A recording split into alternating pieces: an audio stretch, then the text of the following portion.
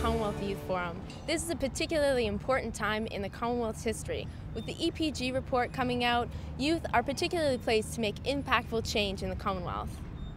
We are really looking forward to having young people be part of a really exciting agenda. We're looking to do two main things.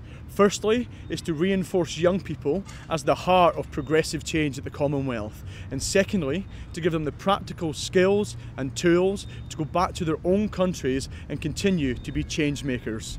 We want to say a huge thank you to the City of Fremantle for putting on the Community Festival and also the barbecue. We can't wait to see everyone there.